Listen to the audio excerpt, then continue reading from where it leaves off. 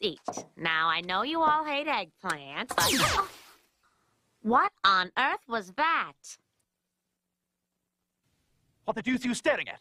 It's tuna fish. And nothing else.